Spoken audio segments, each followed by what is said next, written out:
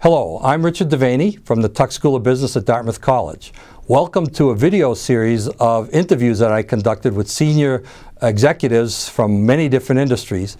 The series is called Strategic Insights and the goal is to help you to understand what great CEOs are thinking about as the critical issues of today.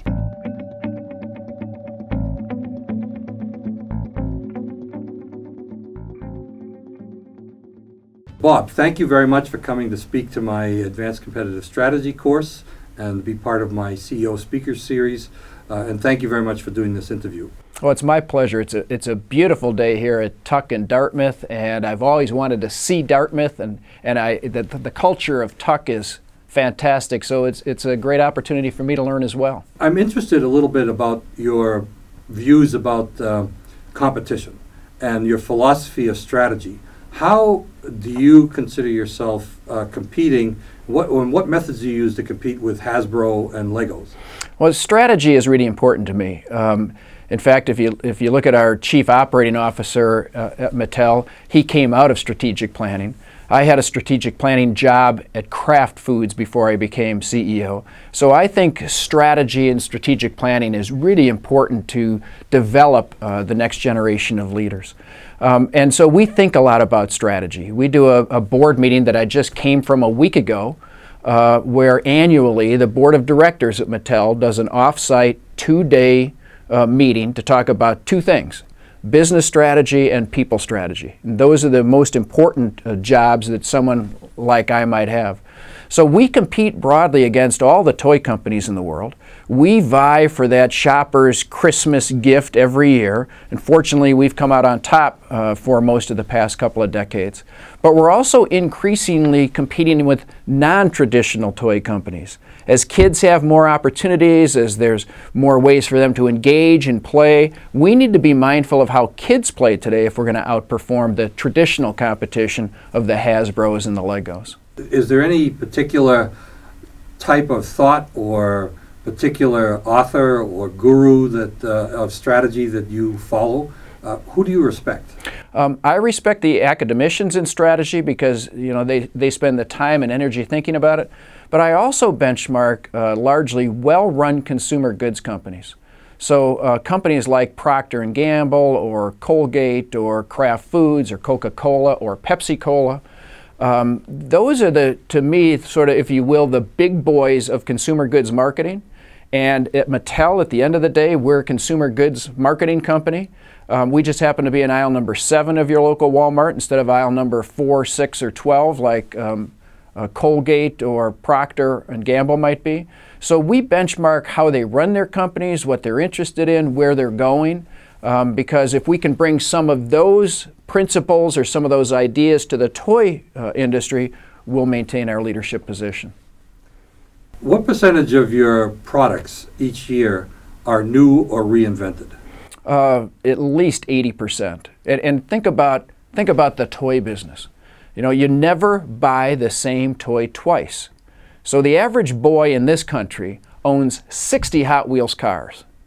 But a yellow Camaro is very different than a red Mustang, and we've got to figure out the Camaro and the Mustang and the color because they don't buy two yellow Camaros. They want a yellow Camaro and a red Mustang. And so almost all of our products are new. And it's also uh, compounded by the fact that it's a very seasonal business.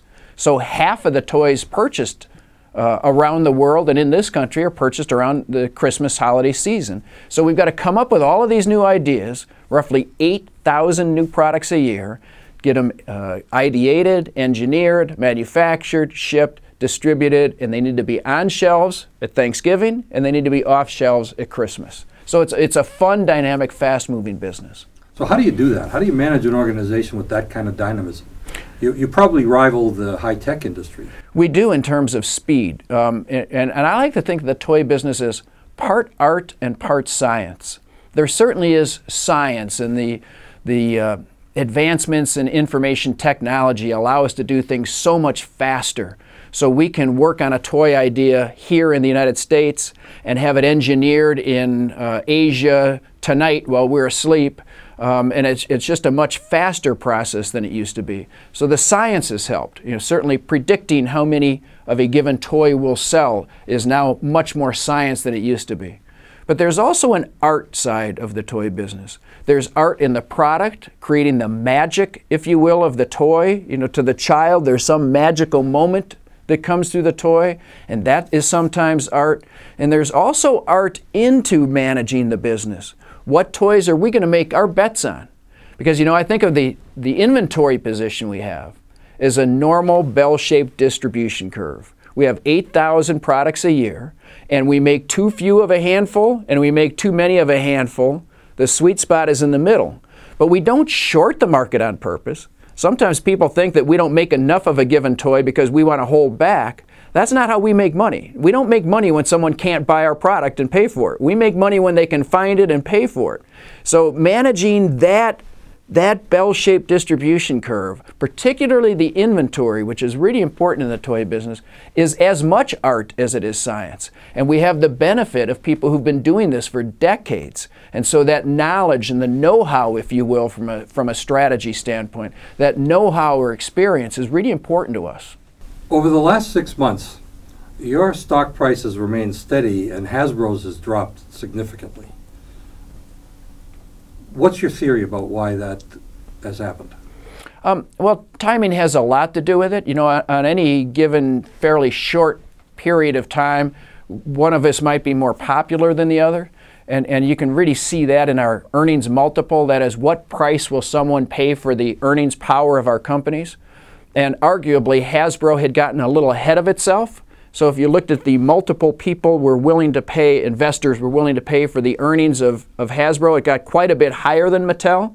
I'm an, an ultimate long-term person, and if you really go back and study the history of these companies in the toy industry, they tend to revert to the mean. So one might argue that Hasbro stock got a little pricey, maybe more pricey than the company was willing was able to deliver in terms of earnings, and at the same time, Mattel might have been a little bit cheap relative to the earnings power of this company, and now we're seeing that reversion back to the mean.